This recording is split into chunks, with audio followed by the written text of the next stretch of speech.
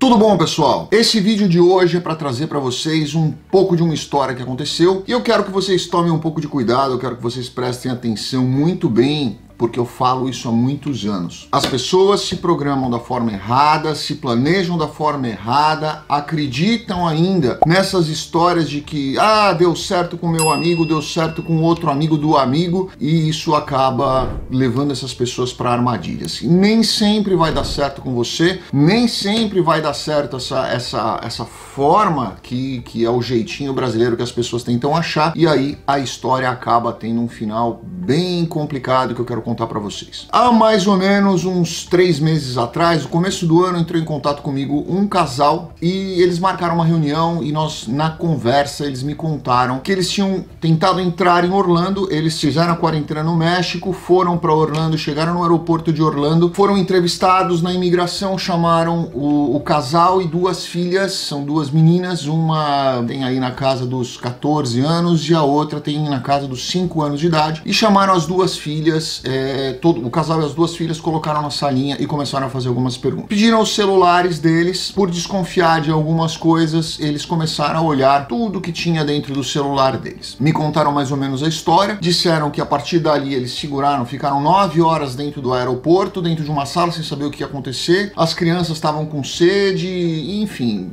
foi aquele caos que vocês podem imaginar o que aconteceu. Colocaram dentro de um avião e mandaram de volta para o Brasil com todos os vistos cancelados e o agente teria dito a ele que ele tomaria um, um, um banimento ali, né, um barge, não poderiam pedir qualquer tipo de visto por cinco anos para entrar dentro dos Estados Unidos. Quando ele me contou isso, eu fiz uma série de outras perguntas, mas via de regra o que, que eu faço? Né? Eu falo, olha, vamos entender o que aconteceu, você é, me dá uma procuração e eu vou fazer a solicitação do seu FOIA junto ao consulado para que eles façam a liberação de documentos para a gente, para saber o que eles têm, o que, que realmente aconteceu, o que foi, qual foi a a suspeita ou qual foi a razão da deportação para a gente de repente poder fazer alguma coisa junto ao consulado para que possa eventualmente explicar o que aconteceu. Em alguns casos é possível você explicar, outros casos não. Você explica o que aconteceu, pede que seja feita uma reconsideração e que seja remitido o visto para essa pessoa. Nós esperamos, o FOI demora um tempo para chegar, demorou, chegou e nós fomos analisar e eu pedi autorização para eles para contar isso aqui para vocês, para que vocês tivessem aí um pouco de consciência do que acontece e às vezes como as pessoas acabam entrando aí, não diria inconscientemente, porque eu não acho que isso aconteça de forma inconsciente, eu falei inclusive isso para eles, mas às vezes as pessoas acabam acreditando em algumas coisas que acabam levando essas pessoas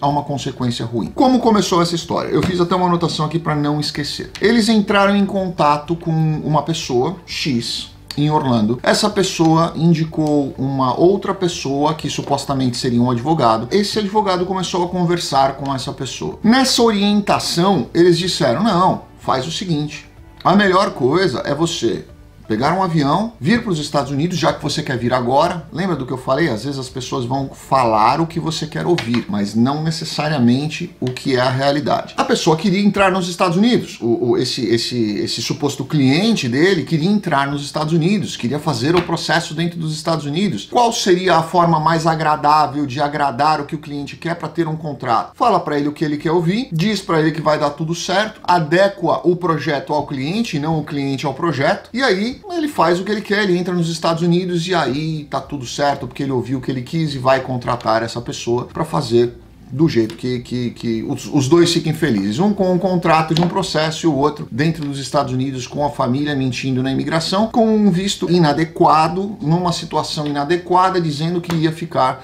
20 dias, 15 dias dentro dos Estados Unidos, quando na verdade a intenção era ficar muito mais do que isso e já acabar ficando de vez. Essa foi a instrução que eles receberam. Essas pessoas foram para o México, ficaram lá a quarentena, entraram dentro dos Estados Unidos no começo de janeiro, já depois de quarentenar no México. Quando chegaram, os agentes desconfiaram de algumas situações, pediram para irem para a salinha e pediram o celular do marido e da esposa. E aí olharam os dois. O que, que tinha nesse nesses celulares. Eu fiz até uma anotação aqui porque tudo isso está no FOIA deles. Todos esses prints estão no FOIA, inclusive com nomes dessas pessoas. Tiraram 12 prints de conversas de grupos de WhatsApp. Curiosamente, nesses grupos de WhatsApp que aparecem inclusive ali no FOIA, tem o advogado ali nesse grupo. Na verdade, tem dois advogados. Na verdade, tem um, que é advogado mesmo e um, uma outra pessoa que está nesse grupo. E essas pessoas ali dentro desse grupo, com diversas outras pessoas, todas elas ali com número de telefone, que agora a imigração tem de todos, porque eles tiraram todos os prints e os números aparecem inclusive ali. Essas pessoas conversando e perguntando: ah, mas e se eu entrar assim? E se eu entrar assado? E se eu fizer? E esse advogado orientando realmente essas pessoas a fazerem esse tipo: ah, não, pode pode cumprir a quarentena, entra nos Estados Unidos com visto de turismo. Tem duas vezes ele falando isso ali. E aí, existe uma, um outro print numa conversa onde aparece o nome ali do, do advogado, né? Do, do suposto advogado, com a conversa dizendo: não, pode entrar, diga que você vai fazer turismo por 12 dias, depois nós aplicamos o seu processo dentro dos Estados Unidos. Existe isso aí, está lá, tá na mão da imigração. O que eles vão fazer com isso eu não sei. Uh, existe uma outra conversa com um corretor de de, imóveis dizendo, olha, eu quero alugar uma casa, o corretor não tem nada a ver com isso, na verdade, né? O corretor não tem nem responsabilidade, nem absolutamente nada a ver com isso, porque ele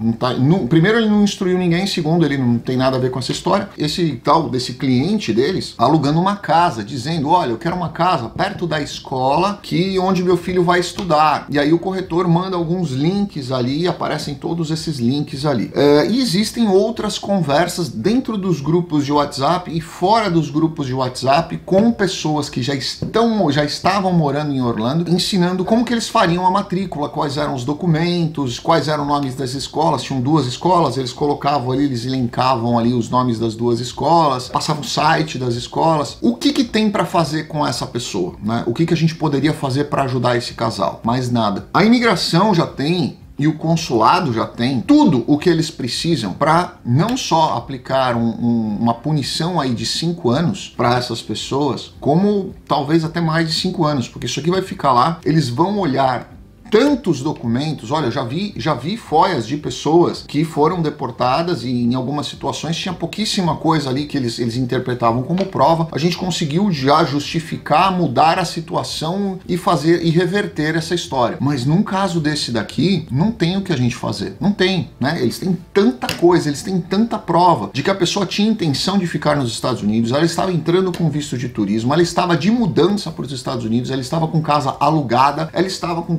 tudo tudo para matricular essas crianças na escola, elas já tinham contatos, grupos de WhatsApp, grupo. Nossa, não tem o que fazer, né? Realmente não tem o que fazer. Então, o que, que eu quero nesse vídeo aqui passar o recado para vocês e deixar como sugestão? Cuidado com o planejamento de vocês, cuidado com vocês escutarem o que vocês querem. Todo mundo lá no fundo, a gente sabe, poxa, isso aqui não, não tá certo, isso aqui não vai ser legal. Não, não vai dar certo fazer dessa forma, não vai dar certo fazer desse jeito, não vai dar certo é, me estruturar desse jeito, deixa eu pensar de uma outra forma. O Brasil está passando por uma fase muito complicada, a gente sabe disso, todo mundo sabe disso, o agente da imigração sabe disso. As pessoas entraram entrarem na expectativa de que, ah, não, eu vou, vou contar uma história qualquer, eles vão acreditar. Não, eles não vão acreditar. E, e esse é o grande problema, porque às vezes você quer buscar o caminho mais fácil, onde você escuta o que você quer escutar e tenta, corre um risco de tentar passar, mas acaba dando alguma coisa. E ao invés de você ter ainda a oportunidade de voltar para o seu país, esperar mais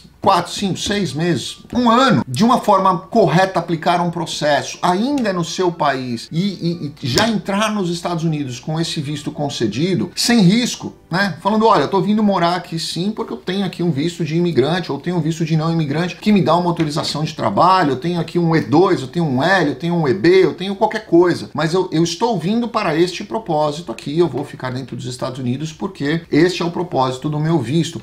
Não vai ter dor de cabeça. É muito mais fácil você esperar um pouco e resolver do que você esperar cinco anos, talvez dez, de punição justamente por causa de uma besteira, da ansiedade e muitas vezes daquilo que eu falo para vocês, ouvir o que é confortável para se convencer. Você mesmo se convence. A pessoa pode falar uma mentira para você, ela pode falar uma besteira para você, mas se você olhar friamente, você vai falar assim, olha, não faz sentido, não dá, não vai, não vai, não vai dar certo. Essa pessoa está falando isso porque ela quer assinar um contrato comigo, para ela é conveniente. Então ela vai dizer o que eu quero ouvir, ser simpática, me agradar e eu acabo fechando um contrato com ela por causa disso. E nem sempre esse caminho funciona. Tá bom? Eu quis trazer essa história aqui para vocês, já vi isso acontecer outras vezes, não trouxe aqui outras vezes porque achei relevante. Esse caso aqui nós conversamos nessa semana, foi quando acabou chegando essa documentação deles pra gente olhar. Conversei bastante com eles, pedi autorização para eles, eu vi o quanto eles ficaram chateados. Eu pedi autorização para fazer esse vídeo aqui para eles, sem citar o nome, obviamente.